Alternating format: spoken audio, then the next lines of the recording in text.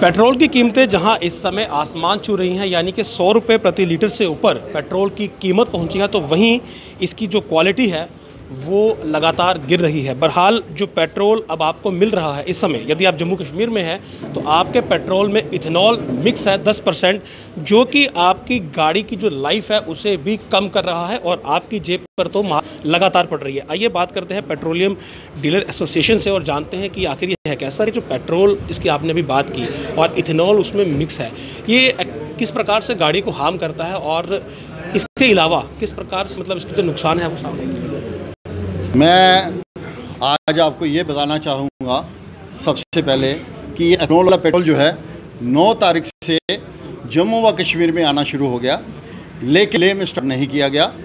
जो जम्मू में 9 तारीख से स्टार्ट हुआ, कई कंप्लेंट्स आनी शुरू हो गई कि आपके टैंकी में पानी है, हमारी गाड़ी में पानी आ गया। उसका कारण ये है कि एक बूंद भी पानी अगर गाड़ी में है तो यहाँ अगर पानी मिक्स होता है बारिश के कारण आपकी लिड ऊपर से पूरी बंद नहीं है ढक्कन पूरी तरह बंद नहीं है अगर पानी चला जाता है तो सरकार ने इसके ऊपर 10 परसेंट जो है एथनॉल मिक्स करना शुरू कर दिया है। एथनॉल जो है ये ऑक्सीजन इसमें कम होती है जैसे इसमें ज़्यादा होती है जैसे ही ये आ, मिक्स होगा पानी में ये कन्वर्ट इनटू पानी हो जाएगा ये हैवी हो जाता है और ये हैवी होने के कारण नीचे बैठ जाएगा। और क्या आपकी गाड़ी इंजन में चला जाएगा, जिससे क्या होगा, आपकी गाड़ी ब्रेक डाउन हो जाएगी, बंद हो जाएगी।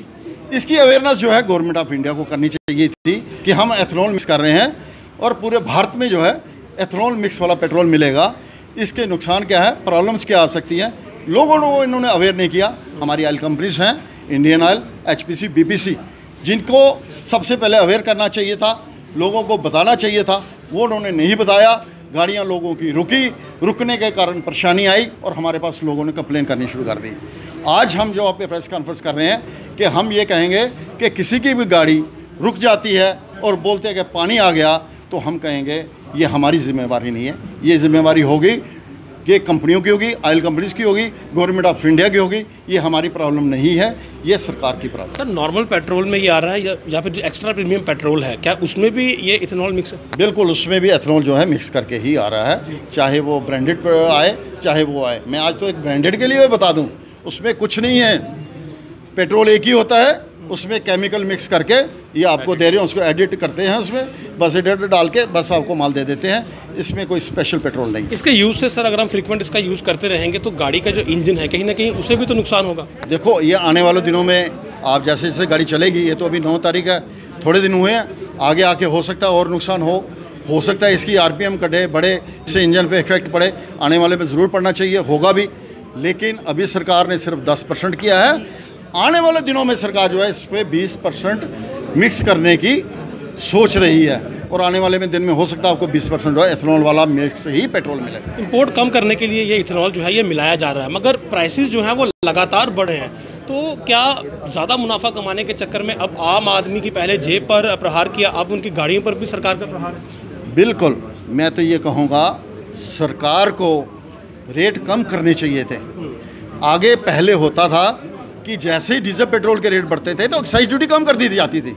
अगर रेट आपके बढ़ेंगे तो एक्साइज ड्यूटी गवर्नमेंट की और बढ़ती जाएगी, उनको प्रॉफिट और गवर्नमेंट को होगा।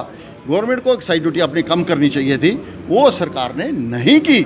वो तो लोगों को मार मिली ही, और उसके बाद एथनॉल भी मिक्स करके, एक डबल जो है, लोगों को मार मिलना शुरू होगी क्योंकि एथनॉल जो है, ये सस्ता है, इसीलिए ने इंपोर्ट घटाने के लिए इन्होंने 10 परसेंट अभी मिक्स किया। अब तक ऑन एन एवरेज कितनी कंप्लेंट्स आपके पास आई इस पेट्रोल को डालने के बाद कि कितनी गाड़ियाँ लगभग खराब? देखो, ये हमारे पास तो दस बीस ऐसे जो लोग हैं हमारे पास आए कई लोग तो ख़राब होते हैं, सोचते पानी आ गया तो चले गए, वर्षा काम करवा लिया, जो हमारे पास आई आपके गाड़ी, पानी है, हम अपना टैंक चेक करते हैं, उसमें वाटर पेस्ट लगाते हैं, चेक करते हैं, लेकिन मैक्सिमम जो रिपोर्ट्स आई हैं, वो हमें श्रीनगर से आई हैं। लोगों ने जो वहाँ किया, वो श्रीनगर से आई हैं कि हमारी गाड़ियों में पानी आया है, क्योंकि अगर पेट्रोल आपका एक महीना खड़ा रहता है, गाड़ी खड़ी रहती है तो वो हैवी होने के कारण आपके इंजन में आ सकता है और गाड़ी आपकी ब्रेक डाउन हो सकती है। अगर टेम्परेचर्स की बात करें यहाँ पर जब सर्दी होती है तो बहुत ज़्यादा ठंड पड़ती है। तो ऐसे में क्या इसके फ्रीज होने के भी चांसेस हैं?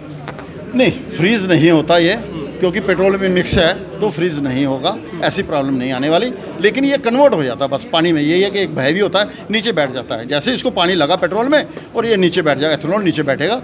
और मेथनॉल ही खाली आएगा तो आपकी गाड़ी में नुकसान हो सकता तो ये सुना आपने कि क्या नुकसान है इस पेट्रोल से और इंपोर्ट कम करने के लिए इस प्रकार से इथेनॉल जो है ये मिलाया जा रहा है। बहरहाल इंपोर्ट तो कम हुआ, लेकिन दाम जो हैं वो कम नहीं हुए। और दूसरा, अब आपकी जो गाड़ी है, उसकी जो लाइफ है कहीं ना कहीं, उस पर भी संकट है। इंजन जो है, अगर आपका इथेनॉल वाला पेट्रोल उसमें कंज्यूम होगा तो कहीं ना कहीं आपका इंजन भी जो है उसे नुकसान पहुंचेगा और आपकी गाड़ी की ओवरऑल जो लाइफ है वो कम हो जाएगी।